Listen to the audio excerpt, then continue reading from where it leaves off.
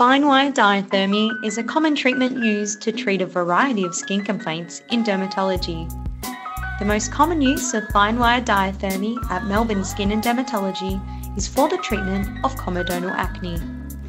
It can also be used to treat milia, sebaceous hyperplasia, broken capillaries, spider angiomas, skin tags, seborrheic keratoses, Fordyce spots, pearly penile papules, and benign gland tumours.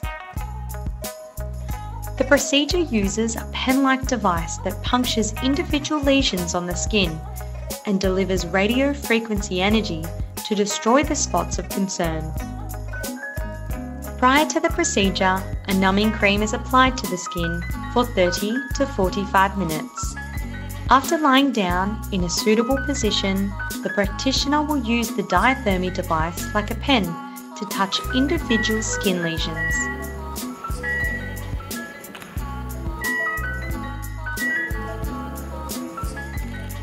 Treatments can take anywhere from a few seconds to 30 minutes to perform, depending on the number of lesions or the size of the area being treated.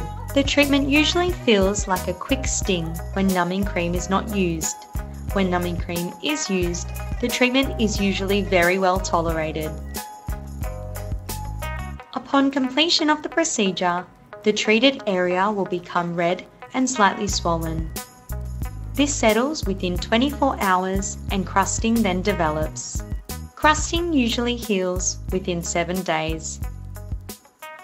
Sometimes only one treatment is performed, whilst in other cases, multiple treatment sessions may be necessary. Treatments may be repeated within 2 to 3 weeks. If you are looking for an effective and rapid treatment for comedonal acne, milia, and skin tags, contact us to make an appointment to discuss this treatment further.